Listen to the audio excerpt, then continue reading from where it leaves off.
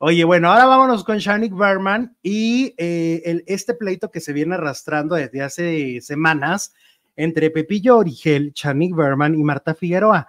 A ver, resulta que para los que no sepan, Pepillo Origel va a una entrevista con Matilde Obregón y le dice, estoy enamorado. Conocí a alguien en Europa y me enamoré y es, eh, tiene 30 años y bueno, él... Dijo, tiene 30 años, no es un pollo. no tiene patas de pollo. y entonces el Pepillo feliz en esa entrevista. Pero luego como que se le volteó Mercurio retrógrado y entonces cuando todo el mundo tocamos el tema, porque él abrió el tema, o sea, ¿estás de acuerdo que ni tú, ni yo, ni nadie hubiera hablado? Nadie. Hubiera hablado si él no lo dice, pues ¿cómo íbamos a saber? Ok. Entonces él es el que lo da. Él lo soltó todo. Y entonces Yannick Berman le dice, felicidades, Pepillo, te doy mi sangre, Pepillo, felicidades, porque tienes, tienes pareja nueva. Y entonces eso le enojó. Y al siguiente programa. No que lo felicite. No, al siguiente programa enfureció y dijo que Chani, que ya la odiaba, que no se volviera a parar ahí en el foro, que ya este, que no contara con él, ¿no? Uh luego llora, luego llora y suplica y le dice, perdóname, yo te amo con locura. Pero antes de eso, pues en la discusión de Pepillo, Marta Figueroa pues dejó entrever que ella ya le había advertido a, a, Pepillo sobre Chanik y le había dicho, cuidado con Chanik ¿no? Así. Bueno, pues ya se sabe por qué. Ya lo dijo Marta Figueroa en una entrevista. Resulta que la razón es porque Shanik es muy chingaquerito. Resulta que va hoy, las dos van a hoy, pero cuando no le toca a una, pues le toca a la otra. Entonces, cuando va Shanik, empieza a preguntar, oigan, ¿y cuánto tiempo estuvo al aire Marta ayer? ¿Y por qué le pagan esto a Marta? ¿Y por qué Marta aquello? ¿Y por qué Marta asa? Entonces, como envidia. Ajá. ¿Ok? Y entonces dice, dice Marta, dice, ¿y a mí qué me dicen? ¿A mí qué me dice? Porque, o sea, cada quien tiene lo que está negociando y cada quien tiene lo que la producción le quiere dar. Claro. Y luego dice Marta que un día, cuando recién sacó su programa especial de que Juan Gabriel estaba vivo, Shanik fue y se burló y que le dijo, ¿y por qué hace, sacas ese programa? Qué bárbara, si son puras mentiras y ta, ta, ta, ta, ta, ta, ta, y que ni lo había visto Michani, pero fue y le bufó. Uh. Y, le, y entonces por eso Marta Figueroa dice, la traigo en, en salsa. La traigo atravesada. La traigo atravesada por esto, esto y esto y esto, y por eso yo ya le había dicho a Pepillo que tuviera cuidado con ella. Ok. Esas son las razones. Pues sí, es que como que Marta es muy honesta. Yo cuando, cuando Chanik lloró que Marta me dijo esto y no entiendo por qué, dije, mmm, ¿cómo que no entiendes? Algo hay ahí.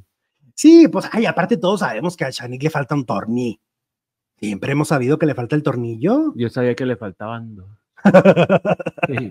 Entonces, no es nuevo. Esto no es nuevo de que, de que Chanik diga, Chanik es muy impertinente, ¿no? Es muy, es, es muy mm, sí, dice las cosas sin pensar y luego anda pidiéndole después perdón y suplicando, pero como que no piensa antes de hablar. Su lema es, es mejor pedir perdón. Sí. Que pedir eh, permiso. Sí, sí, entonces también de repente se pasa. Pues esas son las razones. Ya lo revelaron. Ya está, bueno. Revelado el secreto. Revelado. Mira, dice María de los Ángeles. Hola María de los Ángeles, ¿cómo sigues? María de los Ángeles andaba con problemillas de neumonía. Ay, un abrazo. Muchas gracias por el super chat. Dice a Lupita le dijeron gracias por participar. Ya no es. ¿A cuál Lupita? A Lupita Jones. Ah, lo de Lupita Jones que estamos diciendo que ya le quitaron la. Le quitaron la corona. La franquicia. La franquicia. Pues ya ves que tuvo problemas primero con Televisa. Ah. Y luego se fue a Azteca a ser Mexicana Universal. Y luego se fue a Imagen. ¿sabes que La, la, yo, yo, yo, yo tengo mi teoría y pues, la nueva dueña de Miss Universo es una mujer trans. Lupita no acepta mujeres trans. No, ni de cuerpo diverso. Ni de cuerpo diverso. nunca mandaría. Ni chaparritas. Este, Nepal. Sí, ¿no? Que era la, De cuerpo diverso. Sí, la de cuerpo diverso este, de este año. No lo hubiera mandado a Lupita. Que algún un, un reportero, un este, el hijo de. de. Ah, de un reportero muy famoso, de un periodista muy famoso.